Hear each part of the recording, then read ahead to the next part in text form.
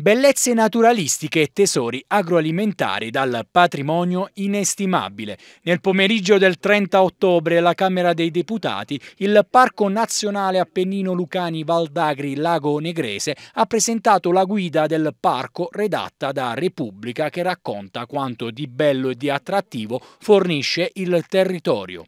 A illustrare la guida del parco, oltre a Giuseppe Cerasa, direttore delle guide di Repubblica, il commissario straordinario del Parco Nazionale Appennino Lucani Valdagri Lago Negrese, Antonio Tisci, il quale si è detto particolarmente orgoglioso per l'opportunità colta in una cornice così prestigiosa.